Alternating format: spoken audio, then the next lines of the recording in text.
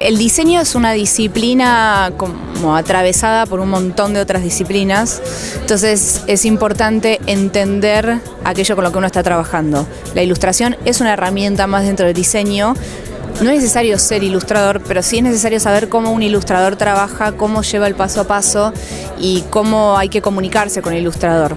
También es importante entender el objetivo de un proyecto de diseño claramente para saber de qué manera la ilustración trabaja sobre eso. Eso es difícil entenderlo en dos palabras, realmente es algo que se aprende mucho con, el hacer, como todo en, diseño, casi todo en diseño, pero ver eh, ciertos ejemplos, ciertos procedimientos de otros pueden ayudar para trasladarlo a la experiencia propia. Por otro lado, ver proyectos que también involucran a la tipografía, como es el diseño de una tipografía, como es el paso a paso en el diseño de una tipografía y una tipografía dibujada a mano. Eh, también puede servir para aplicar ciertos conocimientos al proceso propio de trabajo, si bien cada diseñador y cada ilustrador va encontrando su propio camino, ¿no?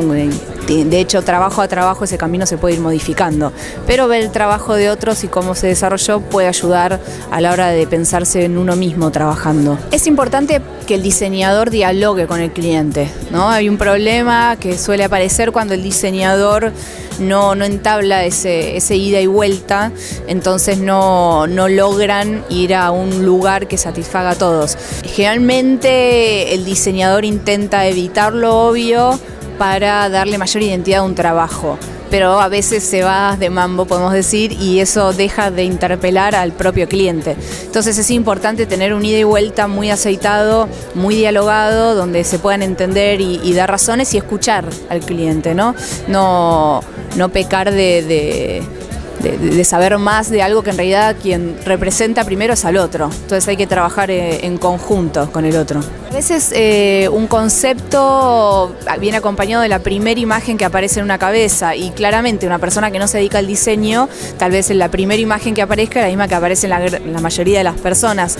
Uno como diseñador ya las mismas cosas las pensó y las repensó muchas veces y por eso encuentra soluciones alternativas que le dan mayor identidad. El tema es como poder darle identidad de un proyecto y que, sea único.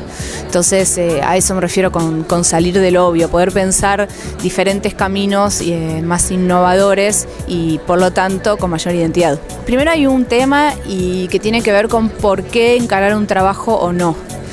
Y ahí hay tres puntos que creo que hay que considerar. Por un lado, el factor económico, que es un trabajo que sea redituable económicamente.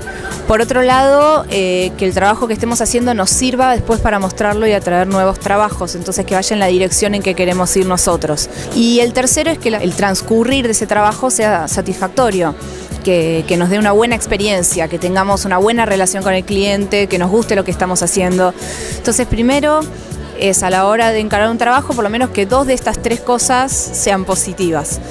Y después, en mi caso que trabajo mucho con bandas de música, es escuchar mucho material, escucharlo, escucharlo, escucharlo y tener muchas charlas con el cliente. Es muy importante conocerse, encontrarse hablando de cosas que no tienen que ver con el trabajo, eh, entender al otro, como sumergirse en el mundo del otro fundamental. Entonces, como pasar la barrera de estar hablando inclusive del trabajo solamente, ¿no? Como encontrar otros puntos de encuentro para, para poder realmente trabajar en equipo.